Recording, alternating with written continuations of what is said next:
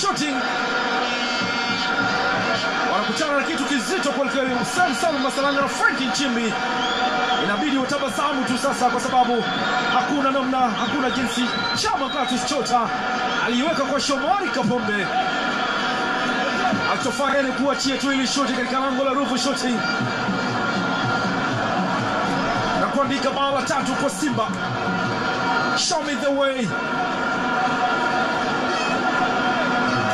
Nyavu zikitikisika mara tatu, majasho majasho.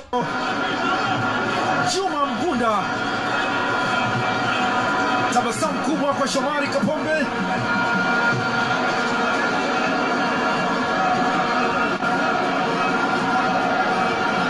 Wanarudishwa tena kati Ruvu Shooting.